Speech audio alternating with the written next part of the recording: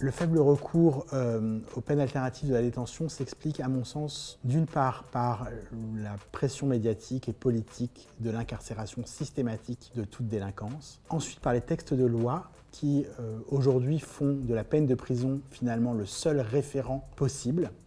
et ensuite par le manque de moyens pour assurer des peines alternatives à la détention.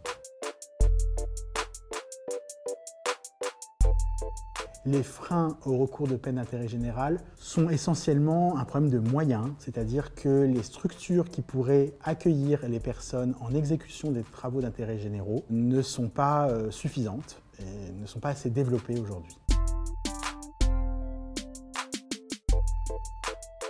Selon ma pratique d'avocat, euh, je favoriserai en détention tout ce qui est l'apprentissage et pas uniquement l'apprentissage professionnel mais aussi l'apprentissage de matières telles que l'histoire, telles que l'écriture, telles que les mathématiques, parce que développer finalement euh, des esprits libres et des esprits qui permettent de penser, ça passe par un apprentissage d'humanité et non pas forcément d'une profession.